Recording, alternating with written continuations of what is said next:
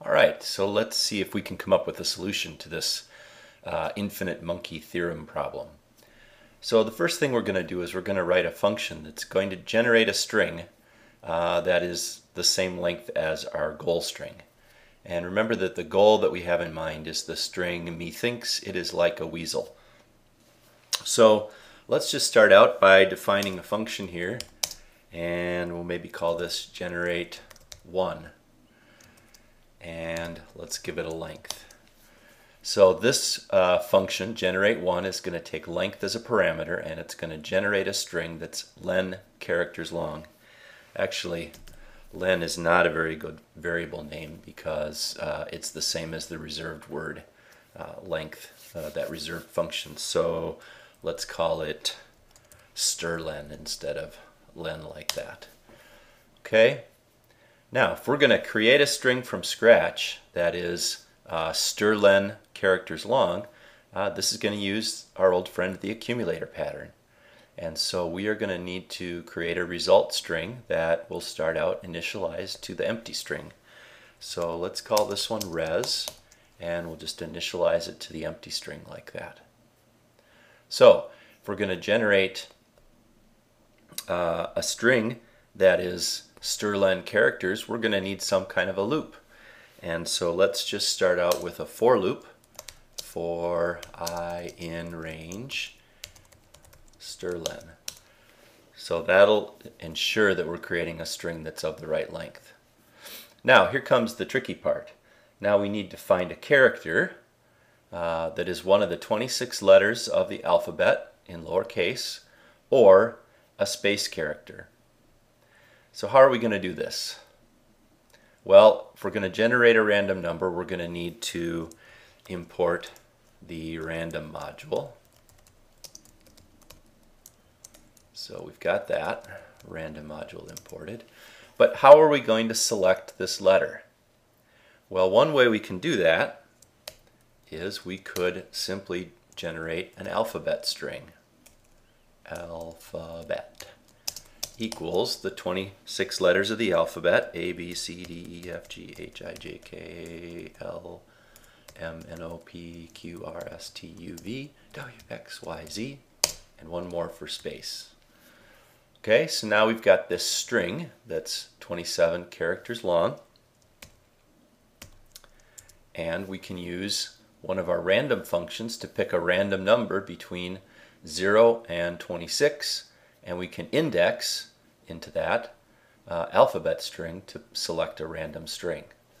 So if we were going to combine all of those steps, accumulator pattern, sele selecting a random number, indexing into that string, uh, we'd have a line that looked like this. Res equals res plus alphabet indexed by random dot rand range.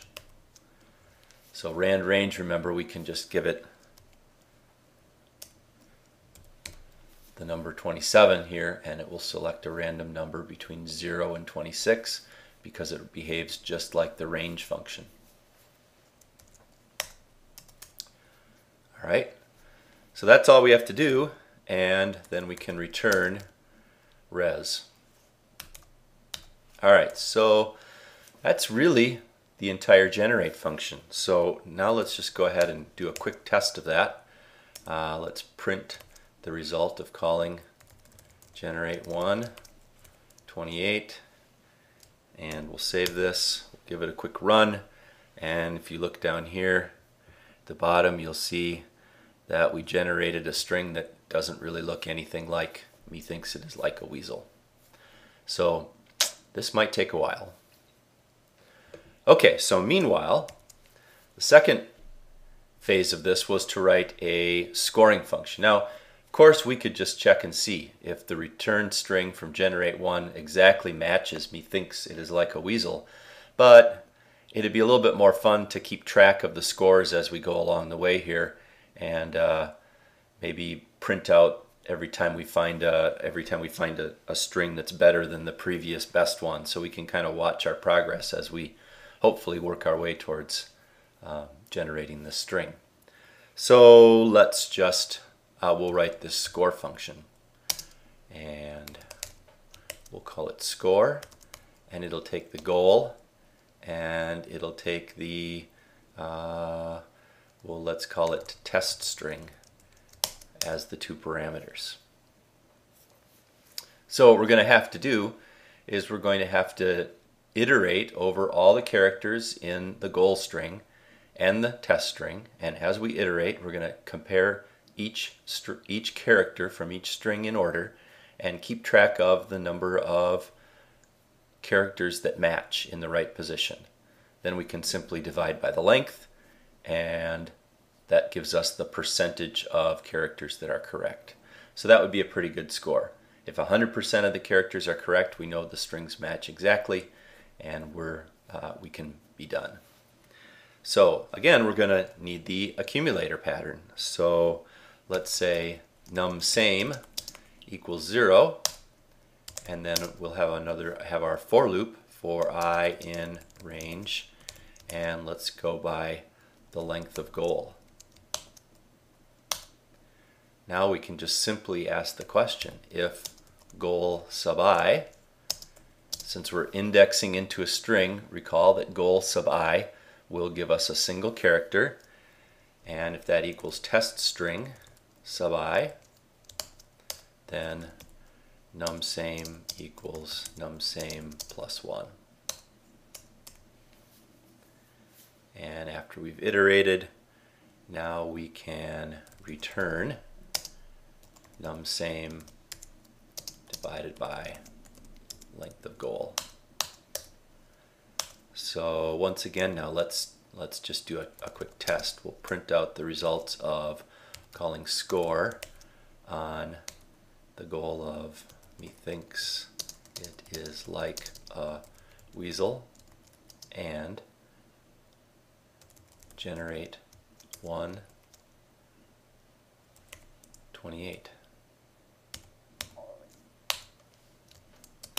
hopefully we haven't messed up nope uh, in this case we got a 0 0 are in the right so we can keep trying so eventually we'll get one that that does better than that.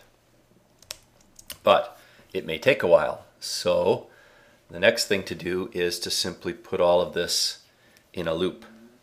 All right, now we could say something like, let's call this, let's put this in a function. Uh, we could even call it main. And let's say that our goal string equals, he thinks it is like a weasel. And now we could simply say while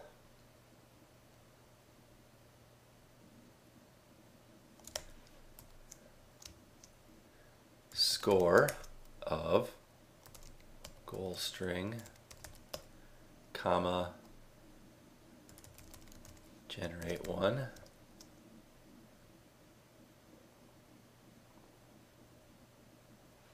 Length 28. Well, that score is less than 1, because this is going to come back as a, as a percentage. Well, what do we want to do? Well, really nothing. We, uh, we just want to keep we want to keep trying that. But to make this a little bit more interesting, uh, let's do it so that we can print this out periodically. So let's say we've got uh, new string equals generate one while score of goal string and new string less than 1. Now new string is equal to generate 1 again. And we could even print new string. So now if we run that, okay, well, I'm back. Uh, sorry about that. Uh, I crashed my editor with that, so that's uh, I hadn't tried running this in the editor before I started, and uh, turns out that when you generate that much output, the editor kind of loses itself. So uh, we can run it over here from the from the terminal, and so let's just let's just run this thing really quick so you can see what's going on. So we'll see it's just going to generate a whole lot of stuff very quickly. So that's kind of boring. So let's kill that and let's just make a couple of quick changes to our uh, to our program here that are going to be a little bit more uh, a little bit more interesting for us to watch. So let's say that we're going to keep track of the best score that we know so far, right? And we are also going to, so we are going to print out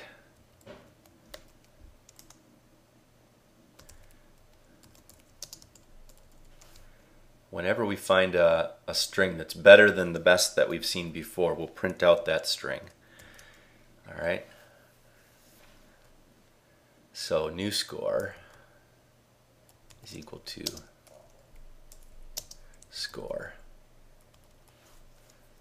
And again, so now we can say while new score is less than 1. We can say if new score is, and let's say greater than or equal to the best, then we'll print out new string. And best is equal to new score. Then we'll generate a new string and we'll say new score is equal to score of new string. And of course we got to have our goal string. Okay, so now if we run this,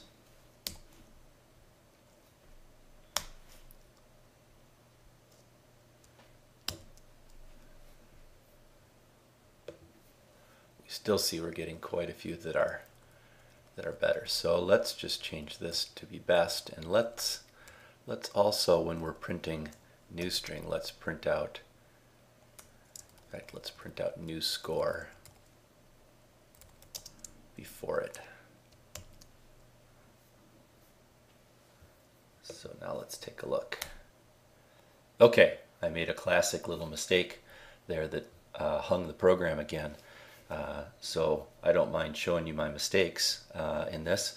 So what I had done was I had run Python, uh, Python, and Python was running Python 2.7, which is not the Python that we're using for this class.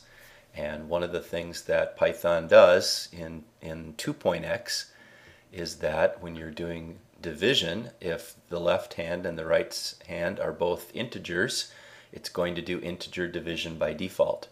So I needed to remember to run this with Python uh, 3 because uh, this is because it's because we're calculating a percentage here. It's always going to be between 0 and 1 and doing integer division that's always going to result to 0. So uh, that's why getting a whole bunch of zeros printed out there. So if I change over here to running this with uh, Python 3.2 now you can see what's going on. You can see that we started out, we had 7%, then 10, then 14, 17, 21, 25, we're up to 28% of the characters as being our best guess, and so on.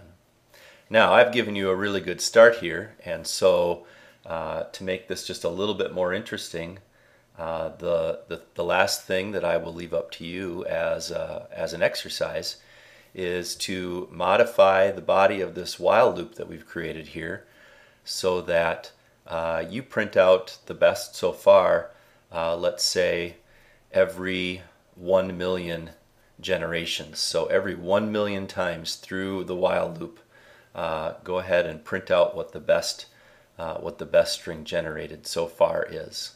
All right, so you're going to have to maybe keep track of the total number of times we've been through the while loop, and you can use the modulo operator to figure out whether it's evenly divisible by a million.